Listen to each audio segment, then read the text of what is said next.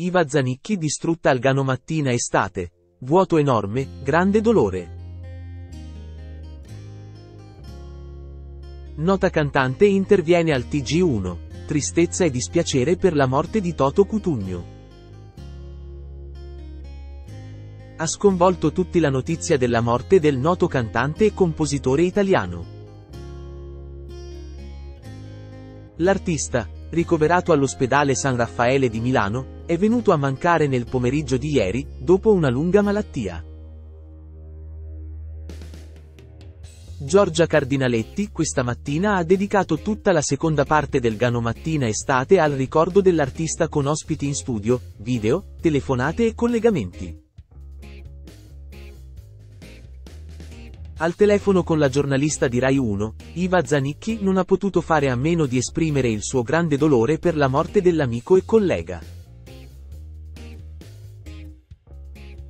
Lascia un vuoto enorme, una grande tristezza, un immenso dispiacere e dolore.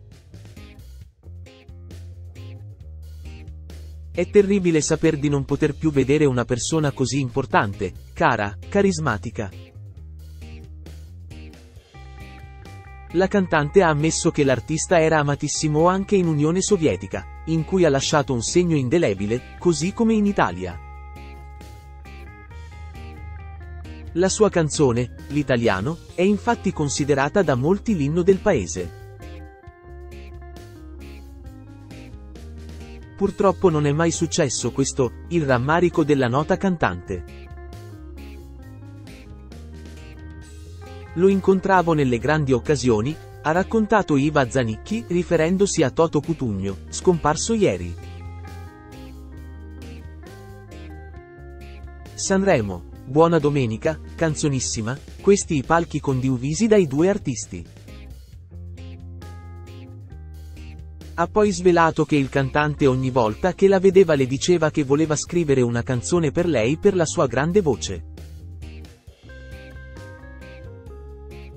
Purtroppo non è mai successo, ha svelato l'artista che ha usato parole lusinghiere per il collega definito come una persona buona, con un animo unico e pregi che difficilmente si trovano. Ha infatti dichiarato in diretta al Gano Mattina Estate. Potevi parlare serenamente di tutto con lui, sapeva ascoltare, Iva Zanicchi a cuore aperto sul collega scomparso, aveva il successo dei grandi. Arrivava dritto al cuore delle persone Toto Cutugno, come dichiarato dalla cantante di Ligonchio che ha sottolineato. Aveva il successo dei grandi, arrivava al cuore del pubblico con semplicità e questa è la cosa più difficile da fare. Ha poi proseguito ammettendo che era unico proprio perché aveva la capacità innata di riuscire a comunicare in modo semplice, diretto ed efficace. La morte del cantante ha lasciato un dolore immenso nel cuore di tutti e in particolare di chi lo conosceva, come Pippo Baudo che ieri al telegiornale serale delle 20.00, come riportato poco fa da Giorgia Cardinaletti in diretta, ha raccontato sugli ultimi giorni del collega e amico. Era molto malato, ha sofferto tanto, ma ha vissuto la malattia con coraggio.